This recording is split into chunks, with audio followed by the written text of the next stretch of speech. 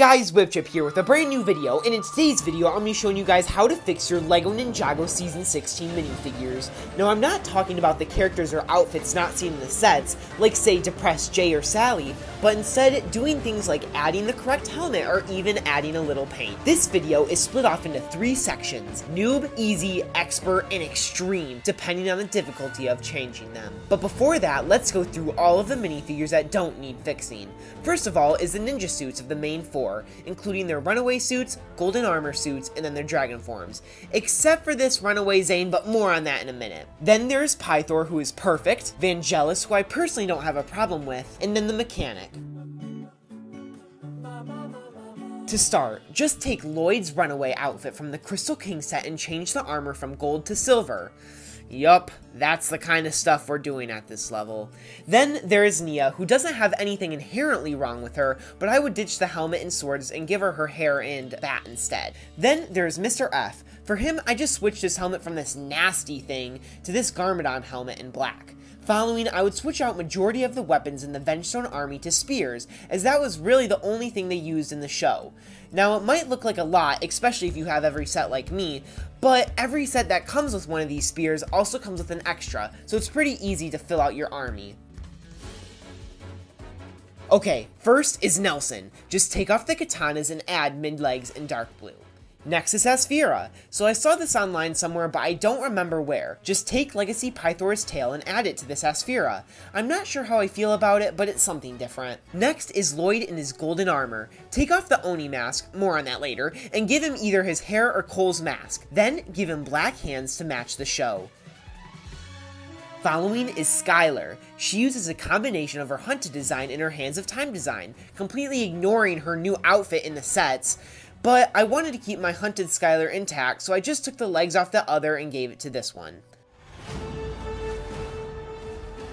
Here is Harumi, basically a perfect figure, but the sword was just a little bit off, so I painted it and puttied it to perfection. Then there is Zane, who I made accurate to his appearance in The Benefit of Grief, spray painting his hair to match. Finally, there is Wu, missing some pretty important things, First is the Dragon Blade he uses to fight the Overlord. You could also give him the broom, I guess. Uh, maybe not. Then his hat needs to be changed from this gold one to a tan one. But be warned, if you add the wings on the back, there is too much tan. So either use the wings with the gold hat or without for a more accurate tan one. Well, we've reached the last stage first with Garmadon. This minifigure you can get in Nya Samurai X-Mech can be split off into two, just like Oni Lloyd. The torso and legs can be used for this version of Garmadon we get to spend most our time with. Then with the mask, of course, changing the nasty helmet for this more show accurate biker one, as well as swapping out the horns for white ones. Then take a movie Garmadon's torso and legacy combo and give them both purple hands. Give him some wings and voila! A much improved Oni Garmadon. Next is the Crystal King. The main problem was definitely the mask, seeing as the one in the set looked a lot more like, say, a mask. So I painted the eyes a solid pink, then painted over them and added the teeth. To match the color of the eyes, I also painted the details on the torso. Then lastly, I just swapped these black hands out for a more accurate gray one. What was it you said to me the last time we fought?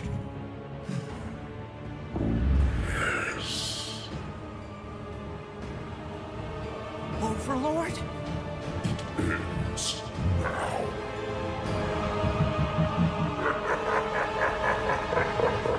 In fact, it does end now, with Oni Lloyd. Gosh, where do I even start? I guess first change the horns from gold to tan, next sand down, paint, and print the upper arms. Now, personally, I didn't want to use my official torso and legs for Oni Lloyd, so I just printed the torso and stuck it onto a different gold Lloyd. I think it turned out extremely good. Well, here's the whole collection. Thank you guys so much for sticking around this whole way. Comment if you guys have any suggestions on any other customs to make. Well, thanks for watching. Bye!